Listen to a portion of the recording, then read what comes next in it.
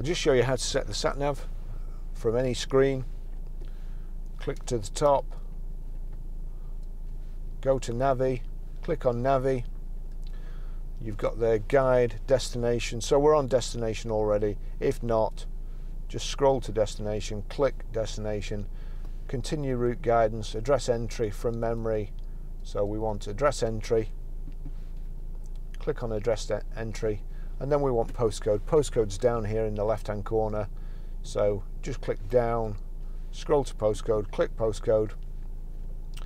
Then we are Grosvenor Garage, Chorley Road, Walton-le-Dale, Preston, P R 5 4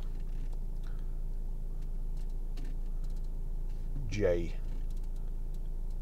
S.